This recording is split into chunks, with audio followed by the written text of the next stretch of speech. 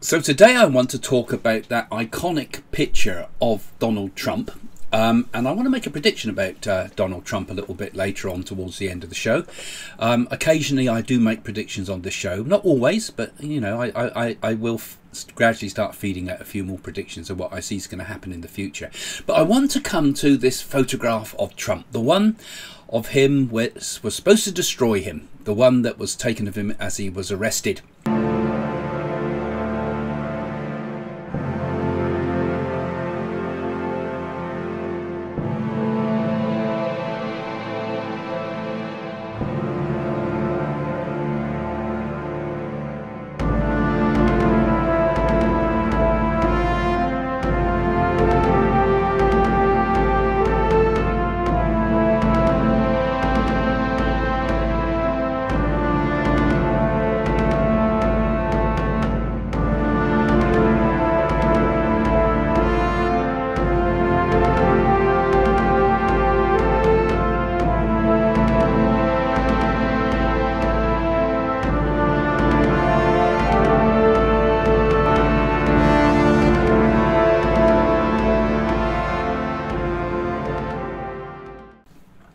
Now, they say you can read a person's destiny in the palms of their hands, of course.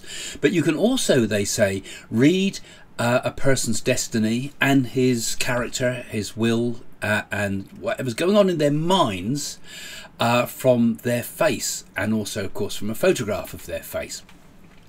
This is called physiognomy. Okay, I think I've got that right. Physiognomy. It's an ancient art. Um, it was used in ancient China um, for diagnosis of illness as well, and about um, and they were used it within the emperor's courts to determine who could or could not be in a position of power actually. It was it was used a great deal and was also used in the West here, right back to the times of the ancient Greeks, um, right back to the fifth century uh, BC. There's records of it in Athens. Um, there's records of a guy called Zopyrus who was the expert of this in its time, but it was quoted by Aristotle. Um, and Pythagoras talked about it, as did Socrates. So um, it's got some pretty big thinkers of the time in the past um, that considered this as a very serious um, form of um, divination. And, and, I think it works too because you can tell a lot from a person's face, can't you? You can also tell, I think sometimes you can see an animal's in people's face, I believe. And also the left hand side and right hand side of a face is significant. But we'll come to all that in a moment because this, this whole idea is of physiognomy, physiognomy um, has been around. It regained a lot of um, interest in the um, 18th and 19th centuries. Um, and some artists also took it on board too. So if you're going to draw a picture of somebody and you want to project a certain characteristics, you would use some of the arts as, uh, these face reading arts to sort of make your characters look exactly what you want them to look like. So you're going to paint Judas, you're going to make him look mean, and so forth. And of course, the danger is it's also been misused a lot. Um, it was used, um, the Nazis, for example, paid a lot of attention to facial shape um, and shape of the head and the nose um, when they were sort of deciding who was master race and who wasn't. So this was obviously a time when this was badly misused. Um, and these facial characteristics could decide who's going to go to the camps. Um, these facial characteristics were very dangerous when they were hijacked by twisted ideologies um, and the danger that can come from this with misuse. So, from the scientific point of view, the scientists have said, "Oh, it's a load of it's a load of nonsense. Throw it out," you know, and I can understand them saying that too, particularly after all that's happened with racial theory and things.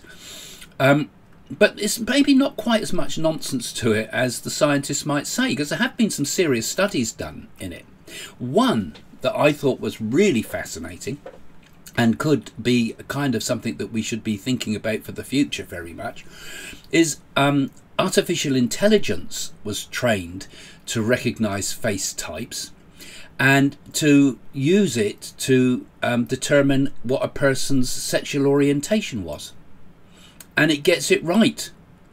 So, you know, uh, well, Jane used to call her gay radar. She always knew if someone was gay or not, you know. Um, but, you know, isn't that a dangerous thing? You know, that if supposing it was decided that it was not a good thing for a person to be gay, and next thing you know, the um, the, this facial recognition is is saying you know what what they are, what their orientation is. Very dangerous, isn't it? And we're giving our facial information away all the time aren't we? All the time. Everywhere we go, there's cameras watching us. It's worse than 1984 ever was. They just had them in the telly sets then, but now we've got them everywhere, on every street corner, in every shop, and every place we go. You know, even on our mobile phones, we don't know what's going on there sometimes, do we? So, a um, lot of dangers to that. You know, you could take a, a, a shot of someone's face, and, and artificial intelligence can say quite a lot about that person. There was an article going back in 2009, I can recall vaguely. There was, uh, I think it was 2009, in the New Scientist magazine.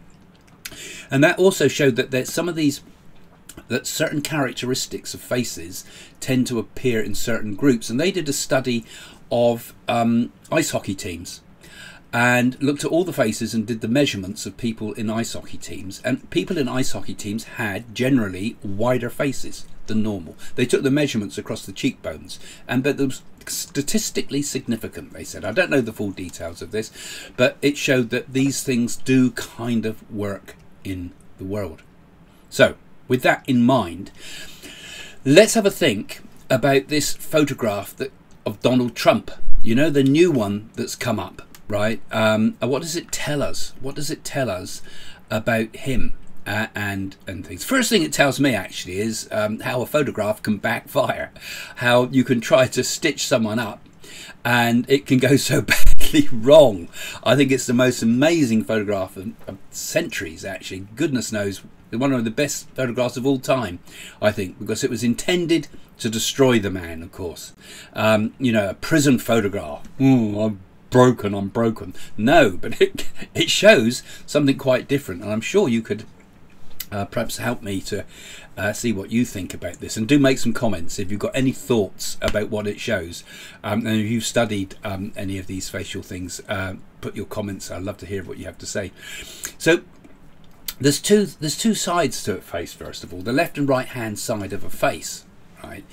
And this it, again going back to science there's and the, the idea that the brain is in two hemispheres uh, connected by a, corpus callosum, which is the uh, nerve center that connects the two sides of the brain.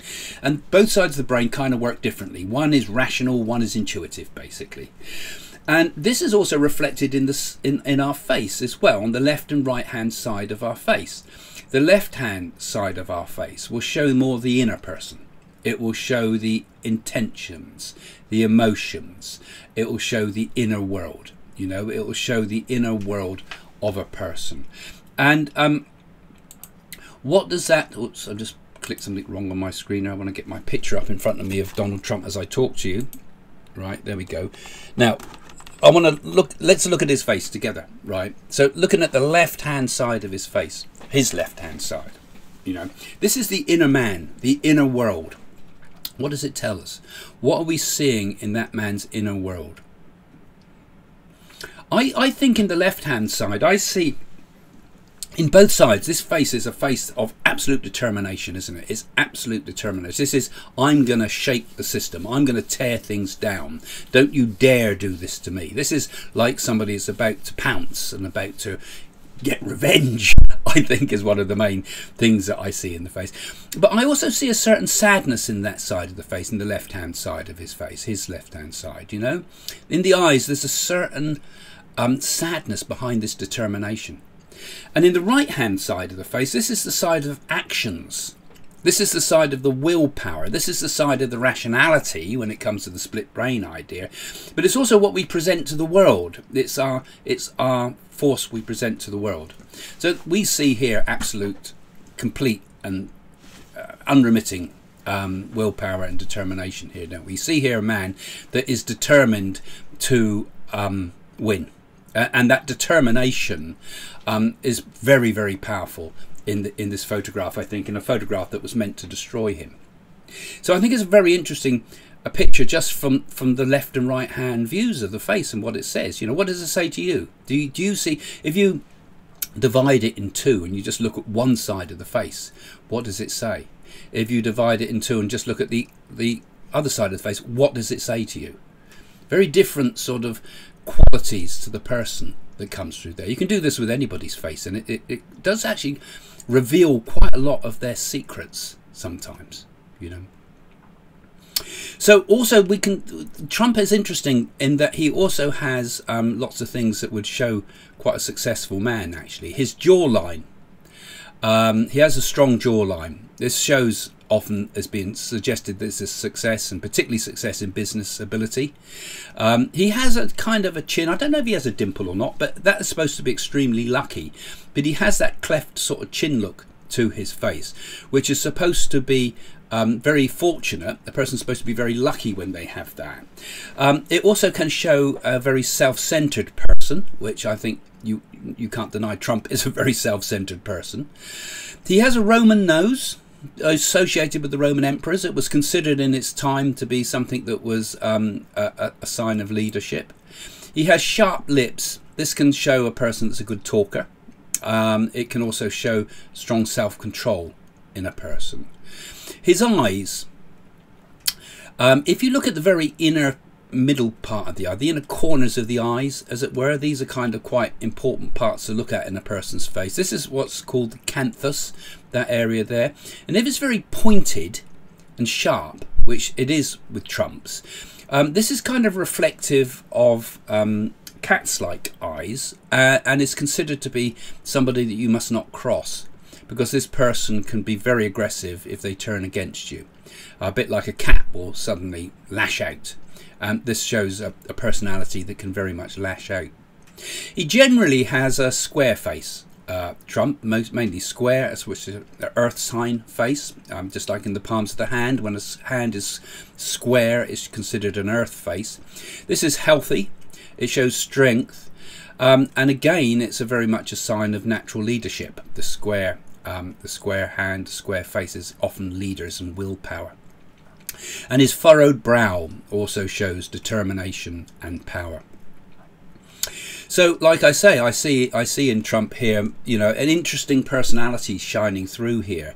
I think it's kind of what we know. I don't know if you'd um, uh, comment and think anything different. You know, I mean, I've kind of been quite positive about what I'm saying here because um, I see quite a strong man here a very an egotistical man, mind you, but then which politician isn't?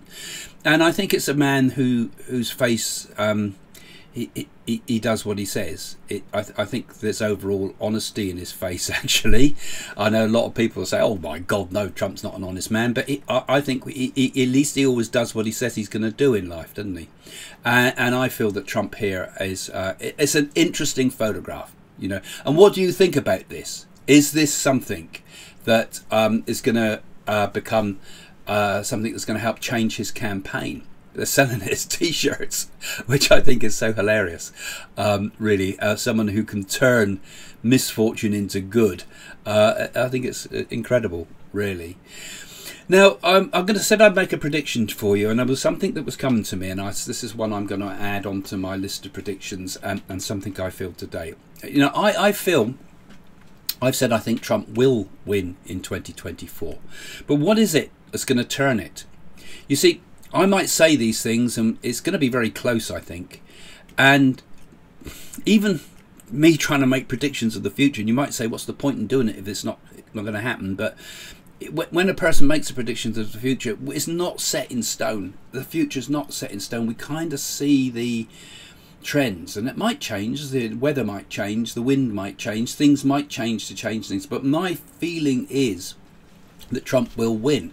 Certainly he'd win if it was all Republicans voting and I think there's many floating voters who would still be strongly opposed to him. Um, but do you know what I think is going to swing it?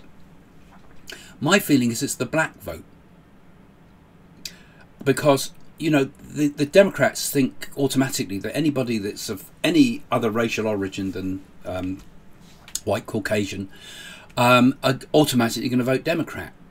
But I get the sense that the black community is thinking, hey, this Trump guy is quite a cool guy, actually. You know, he's standing up against the authorities that have oppressed us over the centuries You know, so the so-called wokey sort of lefty sort of view, I don't think would appeal to most um, people from a black ethnic background. You know, I think for the black people I know, they're usually pretty. They they like to see a person as being quite strong. They quite like a masculine figure. You know, uh, and I think this is going to be one of the things that's going to swing it. The black vote is going to be the thing that's going to shock everybody when it comes to the elections in 2024. Okay, that's my thoughts for today. And if you're interested in developing your psychic abilities, or you know, think I've talked about face reading here. This is kind of a fairly superficial thing, but I can teach you a lot on the in-depth stuff. You can read my book, Psychic School, which is out there on Amazon. If you want to learn a little bit more, some of the techniques I teach. There was also Psychic Workbook as well with Penguin Books. Um, but also I've got workshops online at the moment too. If you want, you can come and join me with my workshops that are starting soon for um, uh, spiritual development, more than just psychic. It's about finding out who we are. Anyway, thanks again for joining me. See you soon. Bye for now. So, do you like what I have to say? Do you like my work? Well, why don't you support my work? Have a look in the description below to go to my website, find out about psychic readings, find out about our Nadi readings with the Indian Nadi Oracle, buy my books, and join my workshops online by Zoom. All there on the website psychics.co.uk.